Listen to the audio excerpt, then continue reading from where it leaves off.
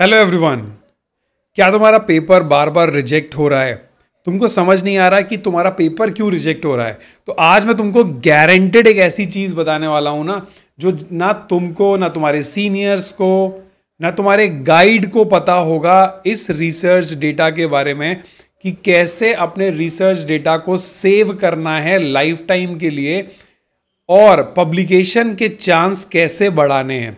यकीन ना होना तो ये वीडियो देखने के बाद अपने सीनियर से जाके पूछ लेना, अपने गाइड से जाके पूछ लेना, ये कॉन्सेप्ट्स के बारे में गारंटेड नहीं पता होगा। और इसको आप जब जान लोगे तो चाहे आप मास्टर्स में हो, चाहे पीएचडी में हो, चाहे पोस्ट डॉक में हो, ये लाइफ टाइम एप्लीकेबल है और इसको ज़रूर अप्लाई करना।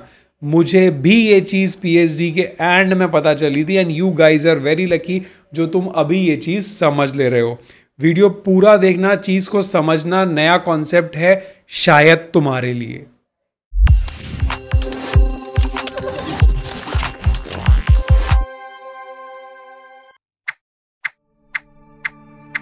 आप रिसर्च करते हो, चाहे मास्टर्स में, चाहे पीएचडी में, चाहे पोस्ट डॉग में। आपके पास रिजल्ट्स आता है, आप काम करते हैं, और उस रिजल्ट्स का आप क्या करते हो?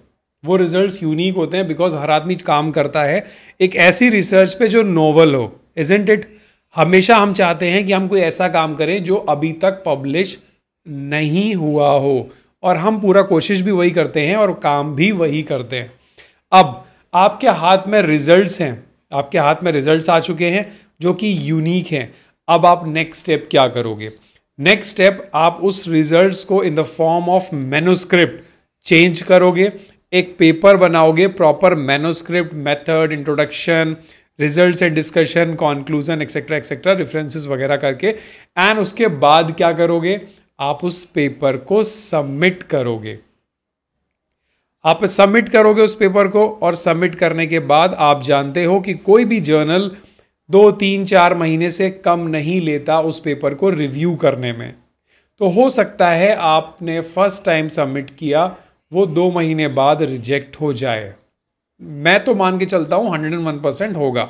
अपने पेपर के लिए कोई बड़ी बात नहीं है, क्योंकि मैं अपना हमेशा इस लेवल का पेपर को इस लेवल में सबमिट करता हूँ। ये मेरी एक स्ट्रैटेजी है। शायद आपकी हो या ना हो, मुझे नहीं पता। अगर नहीं है तो बनाइएगा। कमेंट में करके मुझे पूछेगा, सर, ये स्ट्रैटेजी क्या है?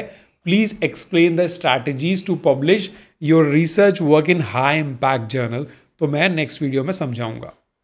चलिए तो अब आप क्या करते हो? पेपर को सबमिट करते हो। हो सकता है तीन महीने बाद वो पेपर रिजेक्ट हो जाए। फिर आप नेक्स्ट जर्नल में सबमिट करोगे। हो सकता है वो भी रिजेक्ट हो जाए। किस्मत अच्छी हुई तो हो सकता है तीसरे जर्नल में वो एक्सेप्ट हो जाए। या फिर उसमें भी एक्सेप्ट ना हो, वहाँ भी रिजेक्ट हो जाए।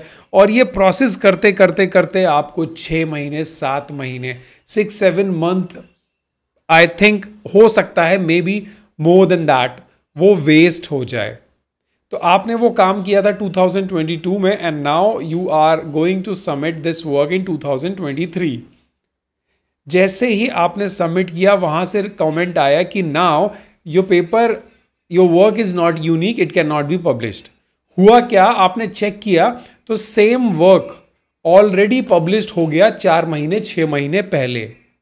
ऐसा बहुत ज़्यादा होता है, क्योंकि हो सकता है तुम जो काम कर रहे हो, वो कोई दूसरी लैब में भी काम हो रहा हो और वो आपसे स्पीड अप में हो और वो किसी जर्नल में पब्लिश कर दे। तो आपकी अगर फाइंडिंग ऑलरेडी कहीं पब्लिश हो गई so your work your efforts will be wasted उसको बचाने के लिए क्या करना है? उसको बचाने के लिए कॉन्सेप्ट है प्री प्रिंट का।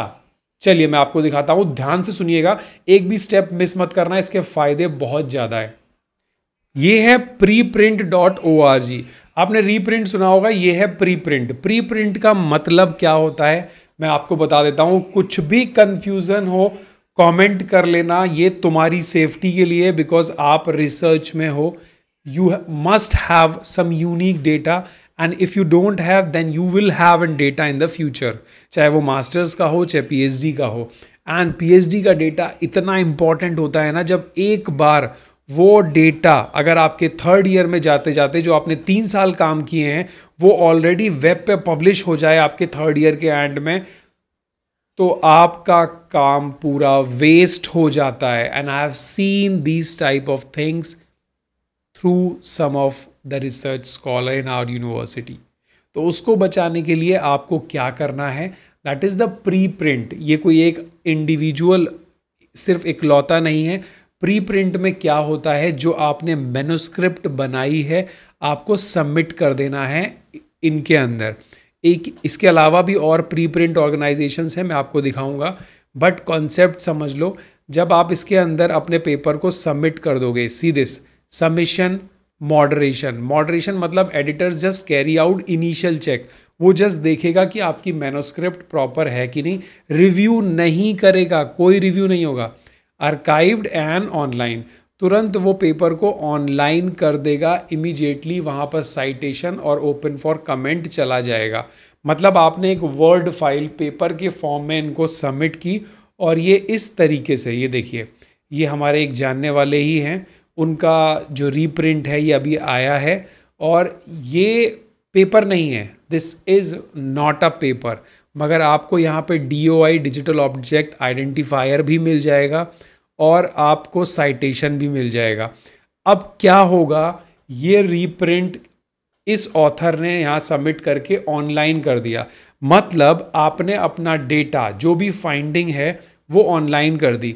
अब अगर सपोज़ कोई इस टॉपिक पे काम कर रहा है तो वो, अगर वो आपने पहले ऑनलाइन कर दिया, यानी अपने अपने काम को पेटेंट करवा लिया, अब ये सेम वर्क कोई और करेगा भी तो उसका पब्लिश नहीं होगा। क्यों नहीं होगा? Because if somebody will publish their paper in any journal तो जर्नल चेक करेगा, क्या इसका रिज़ल्ट यूनिक है? तो उसको आपका प्री प्रिंट मिल जाएगा जो आपने 2022 में काम किया था। Got it did you understand आपने 2022 दिसंबर में ये वर्क रेडी किया बट टिल डेट आपका पेपर पब्लिश नहीं हुआ। आपने प्री प्रिंट में इसको ऑनलाइन डाल दिया एंड नाउ अगर आपका नेक्स्ट एक साल तक भी पेपर पब्लिश नहीं होता है but nobody has right कि इस वर्क को रिप्रोड्यूस करके इस फॉर्म में पब्लिश कर दे। क्यों? क्योंकि आपने ऑलरेडी वेब पे बता दिया है कि ये काम आपने किया है। दीज आर योर फाइंडिंग्स यहाँ पूरा का पूरा पेपर होता है। मैं आपको दिखा देता हूँ एक सैंपल तो इससे यही फ़ायदा होगा कि जब भी आप सबमिट करोगे तो रिव्यूअर देखेंगे, अरे वाह, इन्होंने एक साल पहले ही प्री प्रिंट सबमिट कर रखा है। और कोई और, ये देखिए, ये as it is word file है विदाउट एडिटिंग इन लोगों ने काम किया है। अभी किसी जर्नल में पब्लिश नहीं हुआ है। ये देखिए, यहाँ क्या लिखा है? नॉट पीर रिव्यूड ये पीर रिव्यूड नहीं है जस्ट इन्होंने सबमिट किया और उन्होंने तुरंत उसको ऑनलाइन कर दिया। यानी अब किसी को अगर साइट भी करना होगा तो वो यहाँ से कर सकता है। इसके पास सारे रिजल्ट्स हैं। ये देखिए, ये सारे रिजल्ट्स एज इट इज़ इसने ऑनलाइन कर दिए। तो ये काम आपको ज़रूर करना है, वरना होगा क्या जब आप सबमिट करने जाओगे? तो आपके पेपर्स रिजेक्ट होंगे, कोई दूसरा उसको काम करेगा और वो उसका देखिए, अब मैंने ये सर्च किया तो यहाँ प्री प्रिंट में आ रहा है बट ये पेपर अभी ऑनलाइन एक्सेप्ट किसी भी जर्नल में नहीं हुआ है। हो सकता है वो लोग टाइम ले, कोई भी जर्नल का वो होता है। अब मैं आपको दूसरी प्री प्रिंट की एजेंसीज़ दिखा देता हूँ। जिसको देखने के बाद आपको समझ में आएगा कि आपके काम की कोई है कि नहीं। देखिए, ये सबसे कॉमन है A R X I V arXiv physics chemistry computer science quantitative biology को फाइनेंस स्टैट ऐसे डिसिप्लिन जो हैं, वो आरविक्स के अंदर डाल सकते हैं। ये इसका यूआरएल है। ओवर 1.5 मिलियंस पेपर्स इसमें सबमिट होते हैं। उसके बाद आप ओरिजिनल कहीं भी सबमिट कर सकते हो। ये यहाँ पे ऑनलाइन रहेगा। So this is one of the largest and oldest preprint repository since 1991 उसके बाद बायोरिविक्स है, ये भी बहुत अच्छी रिपोजिटरी है बायोलॉजी के लिए। एक लाख पचास हज़ार पेपर इसके अंदर भी हैं। कैमरेविक्स है कैमारिक्स ये केमिस्ट्री की है। तो सिर्फ़ केमिस्ट्री के जो लोग हैं वो यहाँ जा सकते हैं। ऐसे अर्थ साइंस के हेल्थ साइंस के multidisciplinary psychology social science sports science यानी आपको क्या काम करना है, जो भी आपका पेपर जो फाइनल हो चुका है तो जर्नल में सबमिट करने से पहले यहाँ सबमिट करके उसको ऑनलाइन कर दो और दुनिया को बता दो कि मैं ये काम कर चुका हूँ। तो होगा क्या, जो पहले पहले काम करेगा, वो पहले पहले हाथ उठा देगा कि भाई मैंने ये काम कर दिया। जर्नल हो सक, कोई भी जर्नल उसको एक्सेप्ट करेगी उससे उसका कोई लेना देना नहीं है वो प्री प्रिंट होता है।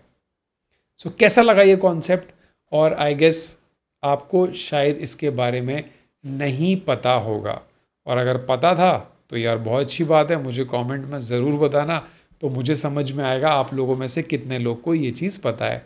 और दूसरे लोगों से जाके ज़रूर पूछना कि सर इसके बारे में आपको पता है क्या हमको ऐसा करना चाहिए प्री प्रिंट प्री प्रिंट के फ़ायदे क्या हैं, नुकसान क्या है, मैंने आपको बता दिए।